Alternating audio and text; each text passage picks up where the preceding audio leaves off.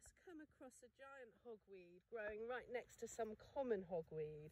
So I thought I'd take a little video of the common hogweed and then flip it round so you guys could see the giant hogweed for those that have never seen never seen it. So this is the common hogweed. If you note that the leaves, now they're a lot less jagged than the, than the giant hogweed and they're more rounded. Now this is about six foot, just a little bit taller than me.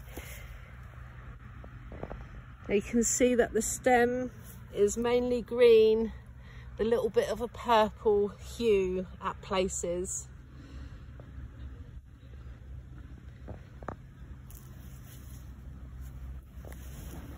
Well, um, here's another common hogweed right here.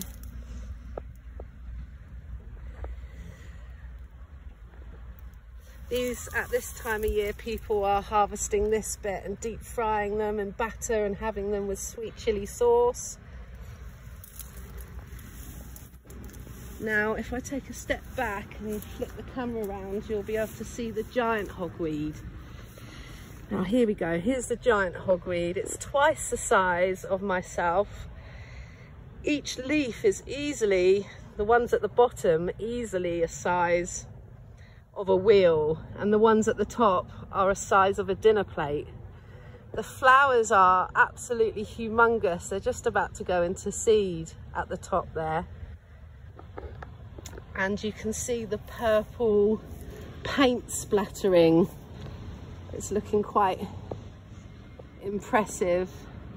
It's a habitat for snails, quite a few snails I see on this plant. Um, as I go down, I mean, I couldn't even put my hand, wouldn't fit around the bottom of that, no chance.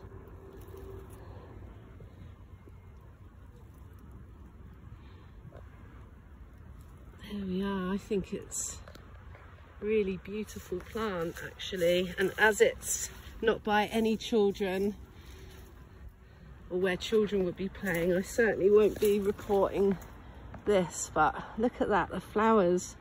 The bees love them and all other insects love them.